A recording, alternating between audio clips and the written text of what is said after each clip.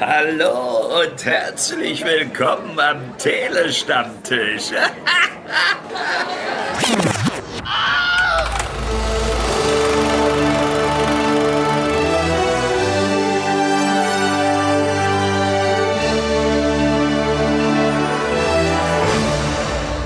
Ein paar Wochen ist es her, da hat sich Netflix ja schon einmal mit dem britischen Königshaus beschäftigt in der fünften Staffel von The Crown. Und nun geht es ein wenig mehr in die Gegenwart und auch ins andere Genre, nämlich ins dokumentarische, in Harry und Meghan. Die zweiteilige Doku beziehungsweise das zweiteilige Doku-Event auf dem Streamingdienst ist vorbei und wie schon The Crown haben wir uns dafür unsere Telestammtisch interne Expertin an die Seite geholt, die weiß ich nicht, heißt du heißt du mit Nachnamen Seemann Eggebert auf jeden Fall Hallo Britt Marie. Hallo, ja fast. Ich heiße fast. ja, ein Thema, was von mir absolut weit weg ist und wozu ich dich wieder nur interviewe. Äh, ich habe es natürlich so im äh, virtuellen Flurfunk mitbekommen, was da jetzt abging. Äh, also es ist an zwei Tagen jeweils in drei Folgen veröffentlicht worden, sechs Folgen dann insgesamt. Aber du weißt ja mehr Bescheid oder kannst den Zuhörerinnen und Zuhörern besser verklickern, worum es jetzt hier eigentlich genau geht. Ja, also in der Dokumentation Harry und Meghan geht es um Überraschung, Harry und Meghan. No! Oder, oder wie die beiden sich auch nennen, um Has and Meg oder um H. Äh, ja, also es ist alles sehr äh, cute, cute. Äh, nichtsdestotrotz, also Harry und Meghan sind ja äh, ein äh, mehr oder minder royales Paar, das man liebt oder das man hasst. Dazwischen gibt es, glaube ich, nichts. Harry mhm. ist der ähm, Bruder von William. William ist der ähm, aktuelle Thronfolger. Jetzt musste ich auch gerade nachdenken, die Queen ist ja tot, also ist er mittlerweile der aktuelle Thronfolger. Ja. also Charles III. ist König, das ist der Vater von Harry und, äh, und seinem Bruder William. Und Harry ist eben der Bruder von William, das heißt, er steht in der Thronfolge eben an zweiter Stelle. Und er hat äh, Megan, eine amerikanische Schauspielerin, kennengelernt, geheiratet. Und die beiden haben eigentlich ganz vielversprechend in der britischen Königsfamilie angefangen. Und dann eskalierte das Ganze. Ähm, sie ist rassistisch angegangen worden, sie ist, äh, sie hat sehr große Kämpfe mit der Presse äh, geführt. Und die beiden haben am Ende dann entschieden, aus diversen Gründen, auszusteigen aus der Königsfamilie und sind dann eben tatsächlich als Working Royals, ähm, haben sie ihre äh, Arbeit niedergelegt so, und sind nach USA, wie sagt man, umgezogen. Mhm. Und diese ganze Geschichte wie sie sich kennengelernt haben, äh, die, die, die, große Romanze, die Hochzeit, äh, das Reinkommen in die Familie, aber auch eben dann das sehr, sehr dramatische, äh, sehr unglückliche auch äh, Ausscheiden aus der Familie, das wird hier komplett erzählt und zwar eben aus der Sicht von Harry und Meghan und die ganze Doku ist so angekündigt worden, jetzt erzählen wir unsere Seite der Geschichte. Mhm. Denn die ganze Zeit war es so, dass ähm, in der Presse man sehr, sehr viel gelesen hat, auch sehr, sehr viel Negatives über die beiden, insbesondere auch über Megan. Und da brannte es ihnen eben unter den äh, Fingern zu sagen, nee, Leute, äh, das stimmt alles so nicht. Und sie haben schon mal versucht, das klarzustellen in einem großen Oprah Winfrey-Interview. Das hat man vielleicht mitbekommen. Äh, ja, das ist auch eine sehr, sehr äh, äh, viel diskutierte Geschichte, ob das jetzt gut oder schlecht war, das so zu tun. Nichtsdestotrotz ähm, hat man in diesem Interview einiges erfahren, wie zum Beispiel, dass Megan eben von diesen Zwängen äh, in dieser Familie und äh, dieser ganzen manipulativen ähm, diesen manipulativen Verstrickungen dahinter und eben auch der, die Hetze und Druck der Presse äh, aber auch intern von diversen Familienmitgliedern tatsächlich so weit war, sich umzubringen und äh, dann keine Hilfe bekommen hat von äh, der Firma, wie ja auch äh, der Buckingham Palace und äh, beziehungsweise die royale Familie eben genannt wird. Und also es wirft kein gutes Licht eben auf die Leute. Und ja, und äh, wie und was und wo und warum und wieso, das kriegen wir hier alles erzählt. Und es sorgt ja schon für einige Furore, was man so hört. Äh, fangen wir aber mal wirklich mal so am Anfang an, vielleicht mal bei dir. Äh, du meintest ja gerade eben schon, dass äh, es ja eigentlich nur so zwei Lager gibt, was Harry und Meghan angeht. Also so klassisch Hate it or love it. Wo würdest du dich denn da so zuordnen? Ich würde mich Team Harry und Meghan zuordnen mit einem kritischen Auge. Und mhm. dieses kritische Auge, das muss tatsächlich, das muss man haben, denn es ist so, Harry und Meghan haben die ganze Zeit gesagt, sie möchten ihre Ruhe haben, sie möchten ähm, nicht den, dem Druck der Medien ausgeliefert sein, sie möchten ihre Dinge privat bei sich behalten. Ja, aber dann macht man keine Doku und dann macht man auch kein Videotagebuch mhm. und weißt du, solche, dann macht man kein Oprah Winfrey äh. Das kann man anders lösen das Problem ist, das ist das, was ihnen vorgeworfen wird, ja. Also wenn sie denn alles äh, bei sich behalten möchten und eben ihre Ruhe haben möchten und nicht in der Presse ausgeschlachtet werden möchten, warum bedienen sie dann die Presse? Ja. Und viele haben dann geschrien, ja, schneller Money Grab irgendwie, die müssen ja auch ihren Lebensstil äh, sich äh, finanzieren können, etc. etc.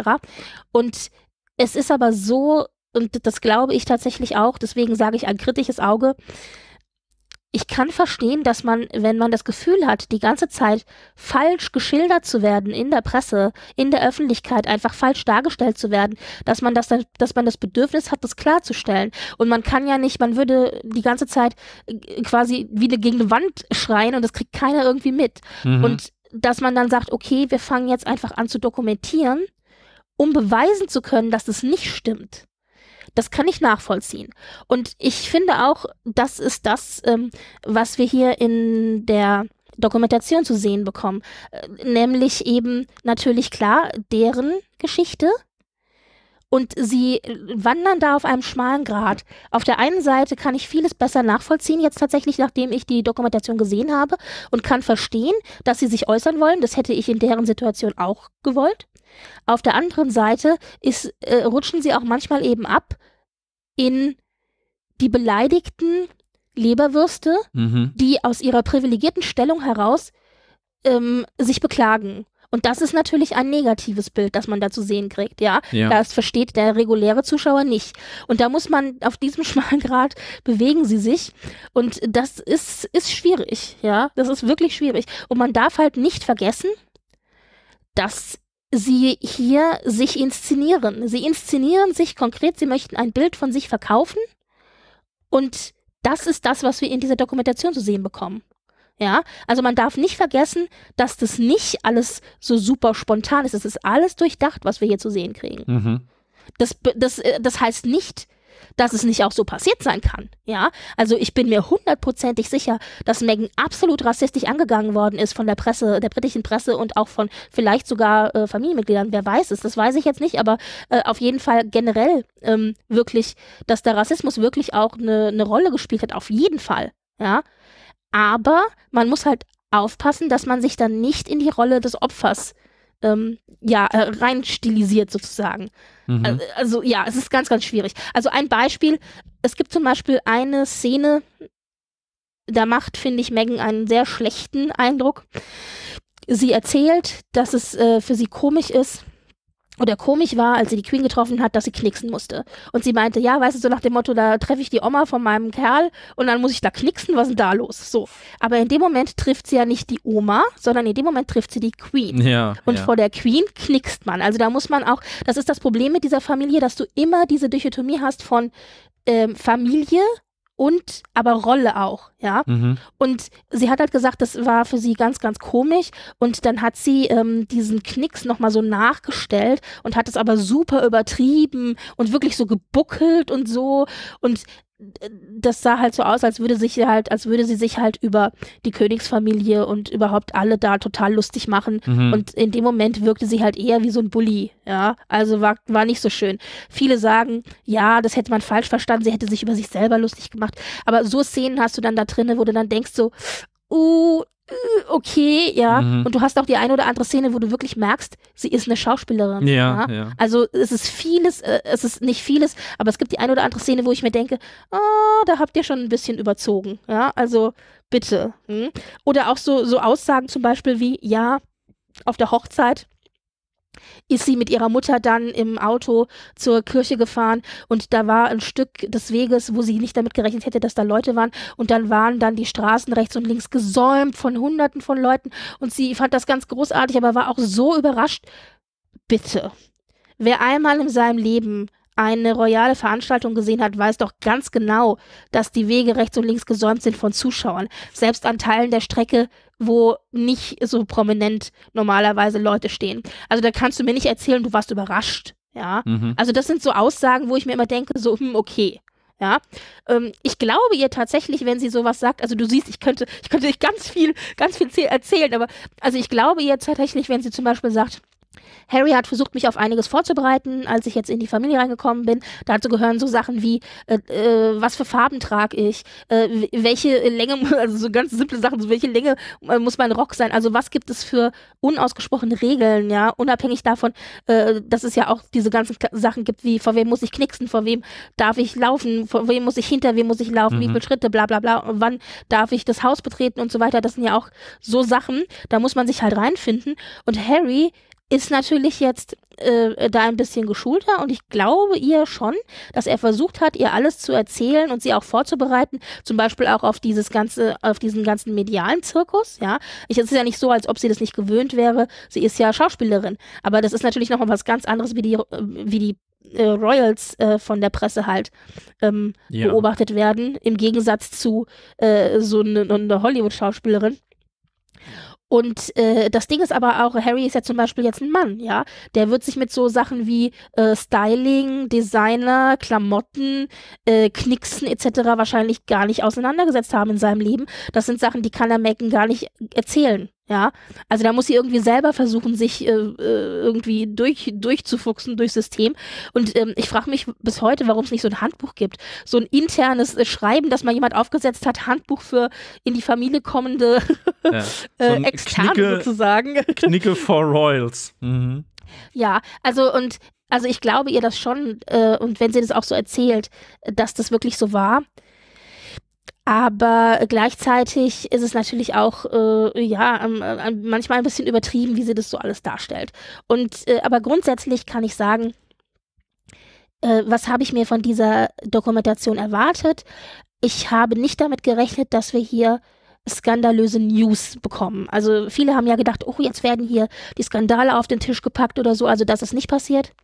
Mhm. Wir haben in dieser Dokumentation tatsächlich im Grunde alles das, was wir schon wussten, einfach nochmal bekommen, aber schöner verpackt und netter zusammengeschnitten. Mhm. Und was wir aber auch bekommen haben, und das ist das, warum mir das besonders Spaß macht, wir haben ganz viel Behind-the-Scenes-Material bekommen und ganz, ganz viele Fotos und Aufnahmen, die wir das erste Mal in dieser Dokumentation tatsächlich zu Gesicht bekommen.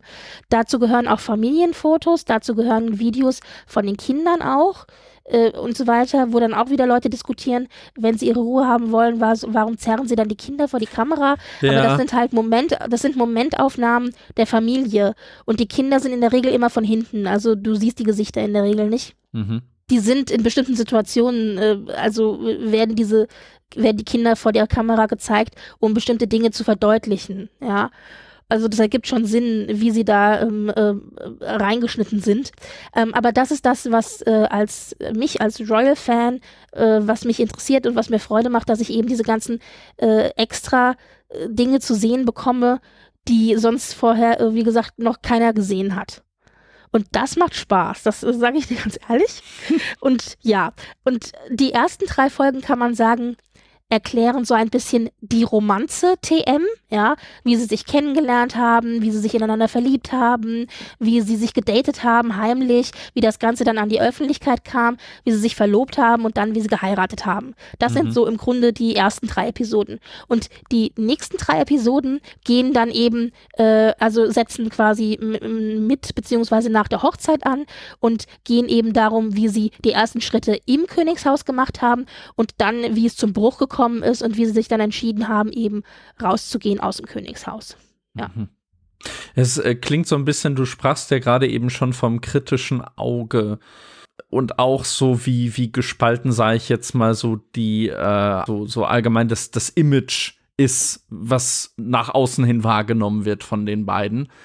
Dann lädt diese Doku ja wirklich dazu ein, zu polarisieren, weil äh, du meintest ja gerade schon, ähm, man muss das Ganze mit einem kritischen Auge gucken. Es ist die Frage, ob so jeder das hat.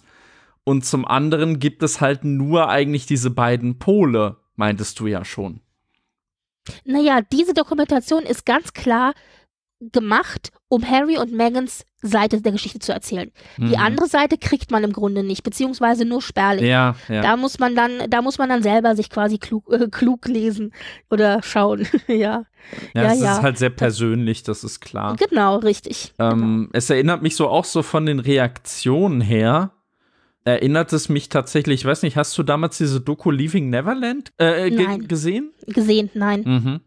Weil da war es ja auch so, dass man die durchaus, äh, also ich fand die für sich genommen sehenswert. Die war ja auch sehr umstritten. Also jetzt diese, diese Michael Jackson-Doku vor, ich glaube, mittlerweile drei, vier Jahren. Und äh, da war es dann aber auch so äh, ähnlich, wie du schon meintest, dass man äh, trotzdem immer noch so ja eine ne kritische Distanz bewahren muss, auch wenn einen das jetzt irgendwie auch schon erreicht, was, was die Leute da erzählen von ihren äh, äh, von, von Vorkommnissen oder was auch immer, weil man ja nicht so hundertprozentig verifizieren kann, inwiefern das jetzt doch sehr subjektiv geraten ist. Es erinnert mich doch ein bisschen sehr daran. Man muss wissen, was man bekommt. Ich mhm. meine, das Ganze heißt Harry und Meghan und man bekommt Harry und Meghan. Und das heißt, man bekommt ihre Seite der Geschichte erzählt. Das ist auch ähm, das, womit äh, gleich im ersten äh, Clip äh, Werbung gemacht wurde, nämlich äh, Meghan und Harry, die da saßen und sagten, ja, und wenn ihr unsere Geschichte wissen wollt, warum fragt ihr nicht uns? Warum hört ihr immer auf die anderen, auf die Medien? Warum wollt mhm. ihr die Story nicht gleich aus erster Hand. Und diese erste Hand ist auf jeden Fall subjektiv. Aber wie gesagt, ich finde es sehr schön, einfach mal hinter die Kulissen zu schauen, ganz, ganz viel Material zu bekommen, Videos, Freunde auch, die sich äußern, äh, Clips, Bilder, äh, die man so, ähm, äh, wie gesagt, äh, nicht zu Gesicht bekommen hat bisher. Ist davon einiges inszeniert? Ja, natürlich. Ja, aber äh, das ist mir, das ist, das stört mich nicht, das weiß ich auch. Und ich bin mir sicher, dass die meisten, die das gucken, auch wissen oder zumindest wissen sollten. Also alleine schon der Titel sollte einem klar machen, dass das Ganze hier äh, subjektiv ist. Mhm. Und am Ende dieser Dokumentation bin ich auf jeden Fall gut unterhalten und was ich auch sagen kann, ich habe so ein bisschen das Gefühl, hier spielen so, so viele Dinge eine Rolle. Also ich könnte hier noch drei Stunden über alle möglichen Aspekte reden, aber auch Dinge, die ich jetzt gar nicht erwähnt habe, was natürlich auch eine ganz massive Rolle spielt, gerade auch in Bezug auf Harry, ist natürlich seine Mutter Diana die ja auch von der Presse gejagt wurde und am Ende ja tatsächlich auch gestorben ist aufgrund mhm. ähm, von Paparazzi, die ja ihr Auto verfolgt haben. Dann kam es ja zu einem Autounfall, als sie versucht haben, den Paparazzi zu entkommen und daran ist ja dann Lady Di gestorben an den Folgen dieses Autounfalls. Und da hat natürlich Harry äh, ein Trauma erlitten und die, das sitzt tief, immer noch. Er hat an sich gearbeitet und war auch in Therapie, aber sitzt trotzdem tief. Und das merkst du eben mit Megan, weil er sagt, sein größter Albtraum ist, dass die Geschichte seiner Mutter sich im Grunde wiederholt mit seiner Frau. Und oh. das hat es sich zum Teil tatsächlich auch. Man muss wirklich sagen, dass da diese viele der manipulativen Dinge, die generell in der Königsfamilie so laufen, sind auch mit Megan so gelaufen, sind auch übrigens mit den anderen Frauen so gelaufen. Eine Kate, eine Camilla, denen ging es nicht anders. Aber was bei Megan zum Unterschied hinzukommt, ist der Aspekt Rassismus. Mhm. Also sie ist halt schwarz, auch wenn man es ihr nicht, nicht unbedingt gleich ansieht, aber sie identifiziert sich natürlich auch als, äh, äh als, als schwarz. Und dieser Rassismus-Aspekt, der ist halt wirklich ganz, ganz krass. Und da sind, da sind so Dinge wie, ich weiß nicht, ob du das damals mitbekommen hast, als ihr erstes Kind auf die Welt gekommen ist, hat die Presse am nächsten Tag ein Bild gepostet. Also andersrum, das Kind auf die Welt ist auf die Welt gekommen, sie hatten einen Termin, haben das Baby einmal in die Kamera gehalten und danach haben sie sich zurückgezogen und haben eben äh, sich geweigert, der Presse noch weiter irgendwie Bilder oder Interviews zu geben, haben gesagt, wir möchten jetzt als Eltern die nächsten paar Wochen äh, für uns sein. Mhm. Und ähm, das, das kannst du halt nicht. Das entspricht halt, das widerspricht halt dem äh, unausgesprochenen Regeln, die man da mit der Presse hat, also dieser unausgesprochenen Abmachung. Und daraufhin ist die Presse sauer geworden und unter anderem haben irgendwelche Idioten, also auch, ich glaube sogar die Daily Mail, ein Bild gepostet von einem Pärchen, das mit einem Affen die Stufen ähm, äh, runterläuft und dann hieß es ja, das ist quasi hier Harry und Meghan und ihr Kind.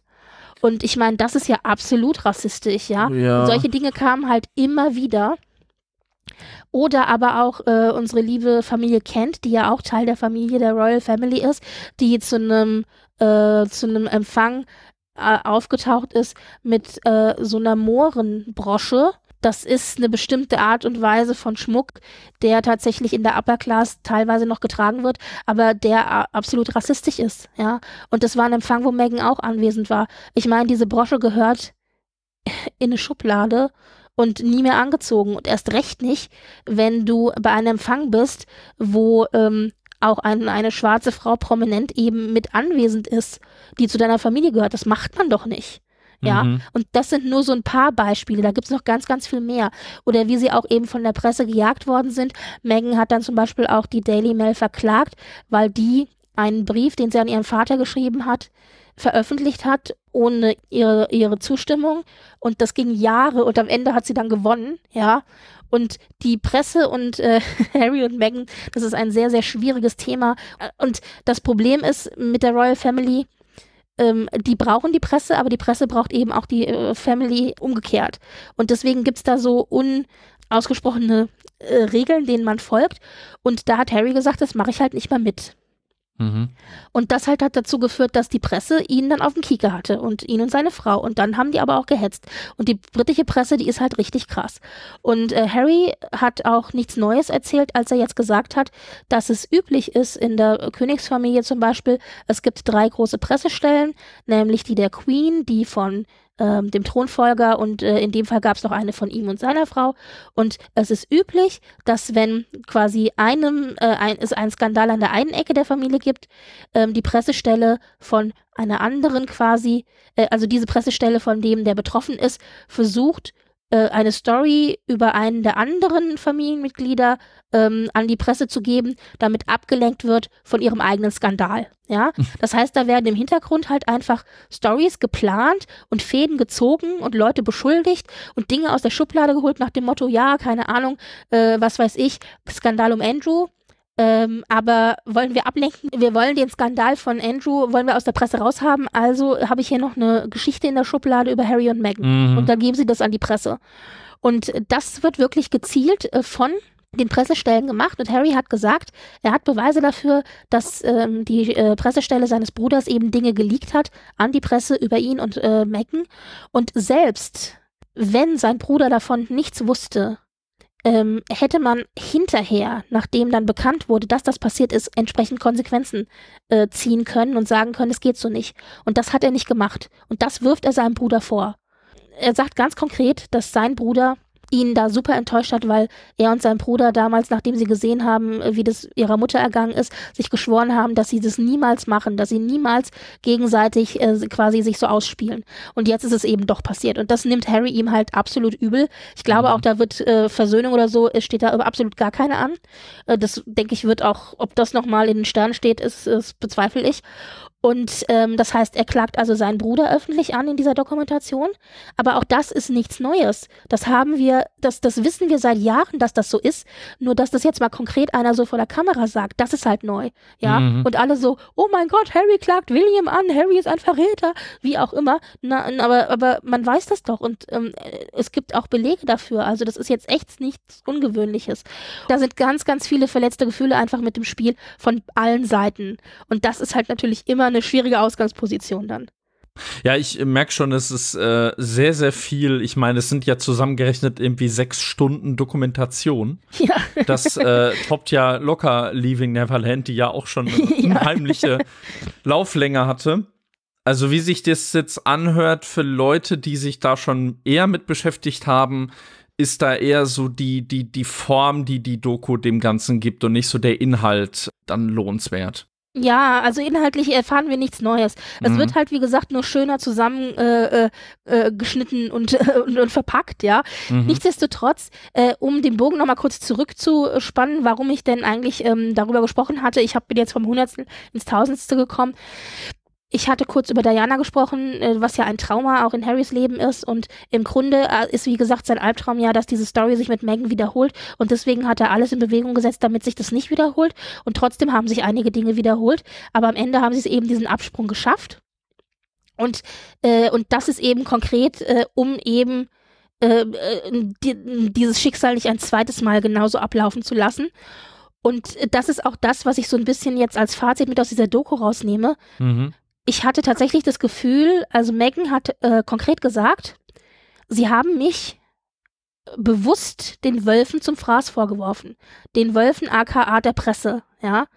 Und das wirft sie auch diesem Königshaus vor. Sie sagt, sie haben das ganz bewusst gemacht und mich der Presse zum Fraß vorgeworfen, damit die mich zerpflücken konnten. Und das glaube ich auch tatsächlich. Also das sehe ich durchaus bestätigt. Mhm. Und ich glaube, man kann sagen, dass die Story von Meghan und Harry, beziehungsweise von Meghan, im Grunde die Story ist, die wir bei Diana auch gesehen haben. Nur war Meghan ein bisschen cleverer und ist aus der Sache rausgekommen. Im Gegensatz zur weitwunden Diana, die eben mit ihren 19 so naiv und ja, äh, unvorbereitet war, mhm. dass sie da eben nicht rausgefunden hat aus diesen ganzen Verstrickungen und Manipulationen. Und die den Vorteil hatte, weiß zu sein, ne? Ja, da spielen natürlich auch andere Dinge eine Rolle, natürlich, klar. Genau. Die Dokumentation stellt auch diese ganze Geschichte um Megan eben in einen postkolonialen Zusammenhang mit ähm, Rassismus in Großbritannien. Also das wird auch nochmal ein anderer Aspekt aufgezeigt, über den ich jetzt hier ähm, noch gar nicht genauer gesprochen habe, aber auch das sehr interessant äh, in Form von Kommentatoren etc. Ich merke, es ist, es ist wirklich wahnsinnig viel. Ich denke mal, dass du äh, in deinem anderen Podcast-Projekt, ich glaube Frankfurter Kranz wahrscheinlich ja. äh, dreifach äh, darüber sprechen kannst. Aber es klingt ja durchaus alles in allem äh, nach einer Empfehlung. Richtig. Und wenn man ein bisschen sich auskennt mit den Royals, beziehungsweise wenn man auch ein bisschen was über Lady Di zum Beispiel weiß, weil sich hier ja sozusagen die Story ein bisschen wiederholt und da Interesse hat, dann kann man sich das auf jeden Fall anschauen. Also allein schon für den ja, Celebrity-Faktor. Allein schon so dieses, oh, gucken, mal gucken, was ist hinter den Kulissen passiert. Mhm. Wow, und so läuft es ab. Aha, hm, okay, ja. Also allein davon, dafür macht es schon Spaß. Also das kann schon echt sich auch jeder angucken. Da muss man nicht so involviert sein in die Story wie ich. Ähm, vor allen Dingen auch nicht, weil es ja in der Doku nochmal erklärt wird. Okay dann auf jeden Fall eine Empfehlung von dir. Wer möchte, kann natürlich gerne dann in deinen anderen Podcast reinhören, wo du dann wahrscheinlich 20-fach darüber reden kannst. Jein, beziehungsweise wir werden ein Weihnachtsspecial machen.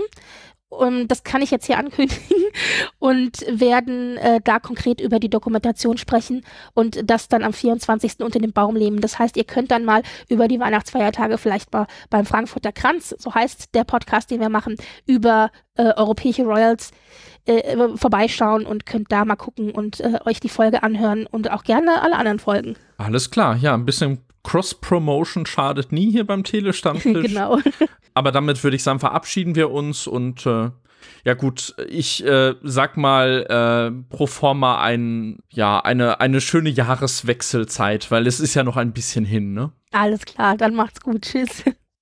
Sehr geehrte Damen und Herren, wertes Publikum, liebe Hörende, vielen Dank für eure Aufmerksamkeit und Zeit. Ich hoffe sehr, euch hat gefallen, was ihr gerade gehört habt. Wir, die Redaktion des Telestammtisch, betreiben ein semi-professionelles Podcast-Projekt zum Selbstmitmachen. Also meldet euch bei uns, wir beißen auf. Außerdem freuen wir uns immer über Feedback via Social Media und E-Mail sowie euren finanziellen Support. Ebenso frohlocken wir förmlich über Bewertungen auf den gängigen Podcast-Plattformen. Wer möchte, darf uns gern immer und überall empfehlen. Alle relevanten Links findet ihr in den Show Notes. Vielen Dank und bis zum nächsten Mal. Euer Andi.